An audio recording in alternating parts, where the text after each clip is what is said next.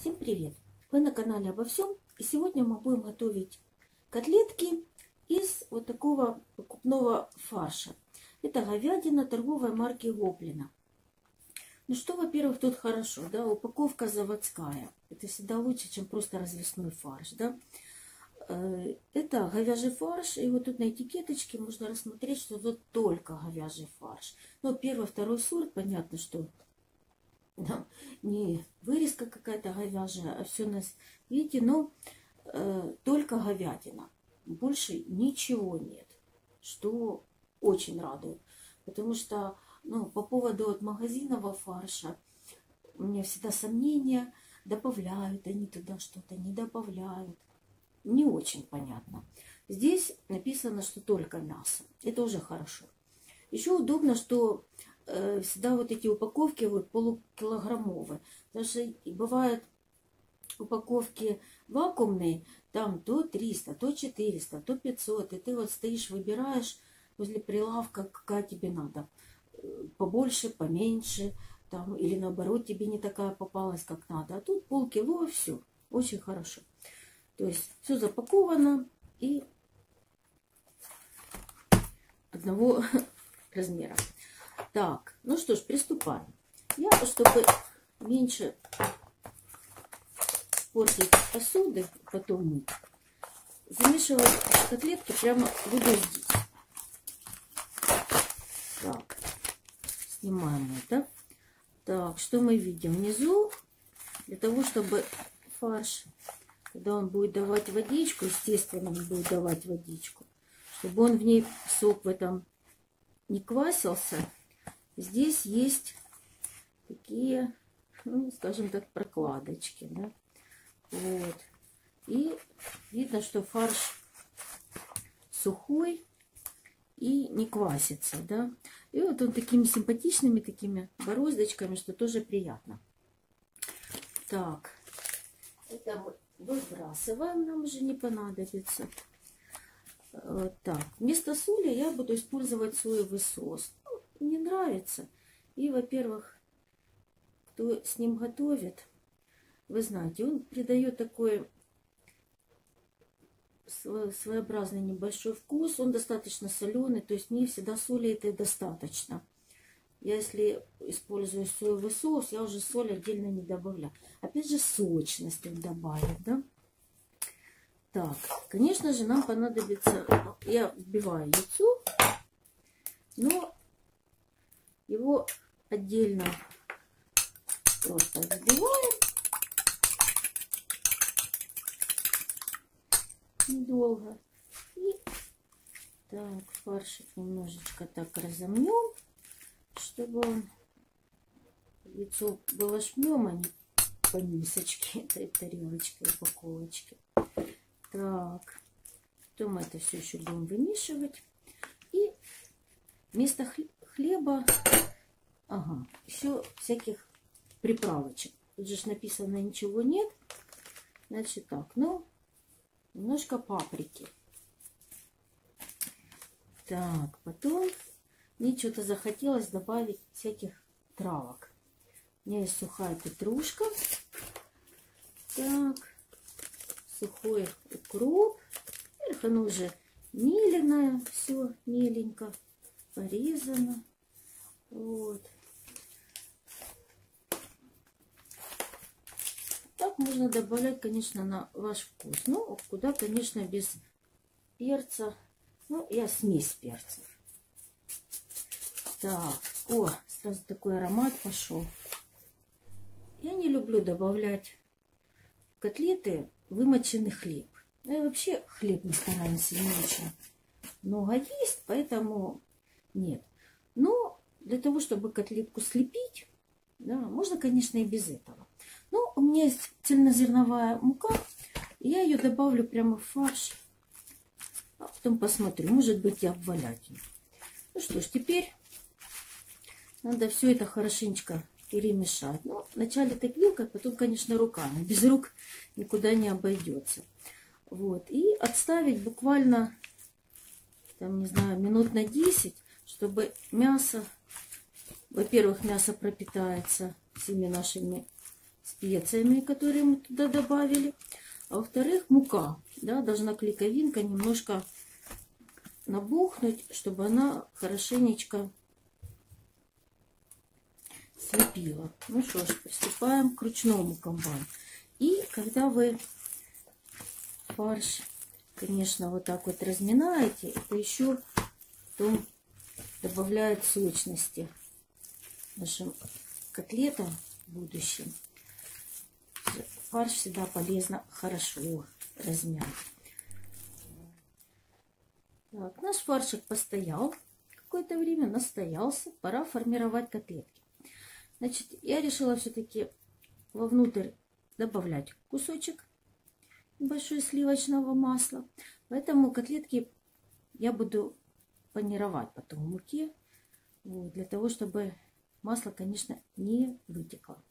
То есть просто формируем такую небольшую лепешечку. Кладем туда маслечко и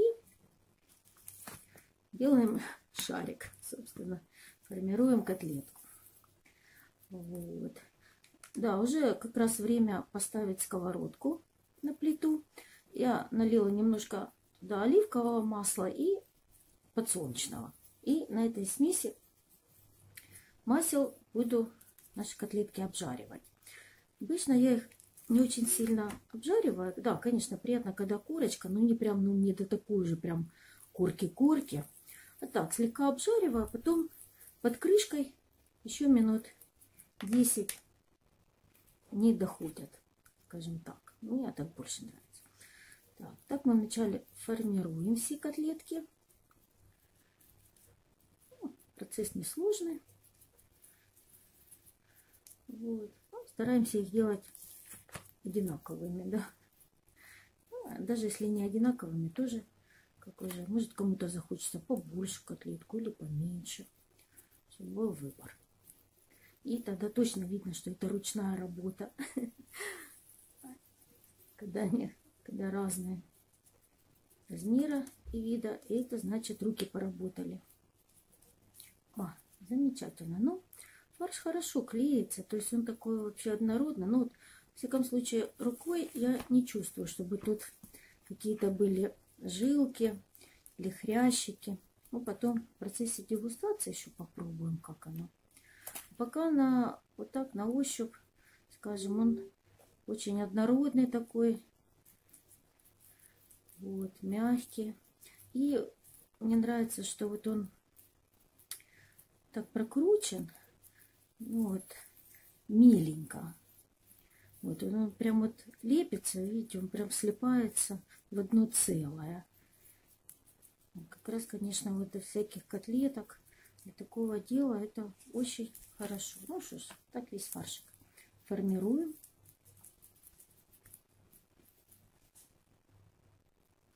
Не забываем добавлять масло. А то вдруг кому-то не достанется. Будет обидно.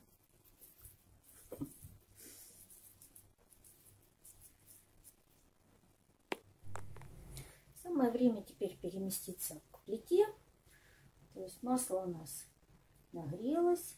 Берем наши котлетки и так щедренько обваливаем. Я опять же в этой же муке цельнозерновой.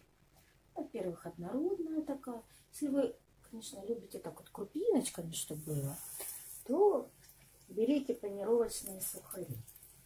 Ну, чего я люблю цельнозерновую муку в таких случаях? Опять же, добавляем полезность в нашу пищу. И не столько в нашу, как питание наших детей.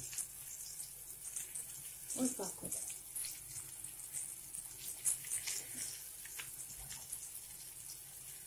Поступаем со всеми котлетками.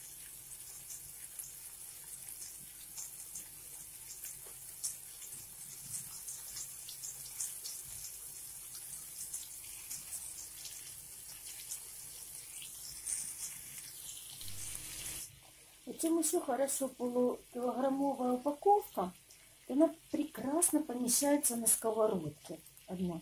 Вот у меня получилось тут 8 котлеток. Да, они немножко разные.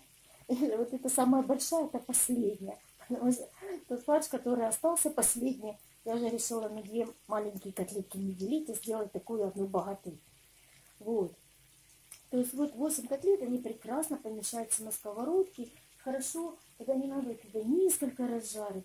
И, во-первых, они будут свежие. Сейчас все сядут и поедят.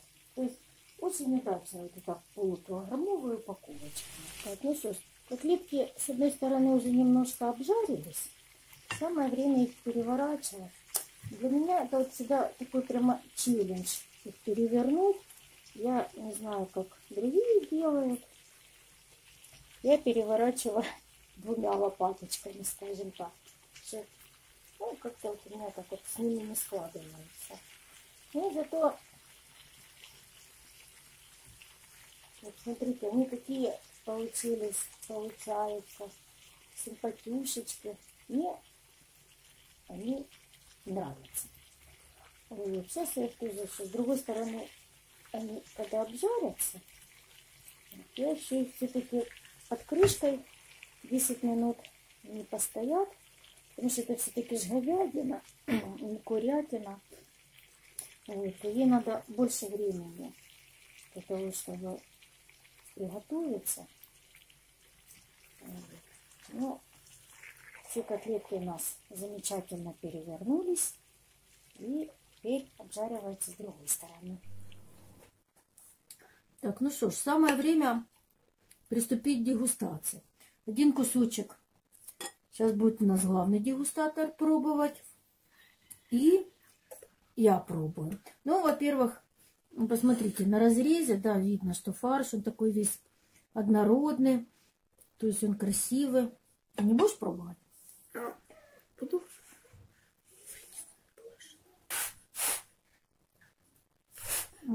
Да хватит дуть, пробуй уже. Это, если вы думаете, что это у нас вентилятор работает, то нет, это ребенок дует на кусочек Вкусно. Не, ну вот никаких хрящиков, никаких косточек. Фаршик однородный весь. Не, ну вот он реально. Это ребенок упал в обморок. Очень вкусно, да. Так, ну что ж, мы пошли дальше до- дожевывать. Ну, в общем, что можно сказать? Фарш хороший. Да давай уже заканчивай, есть хочется. Все, ну все ж, меня зовет. Пока-пока. Не забывайте подписываться и ставить лайки.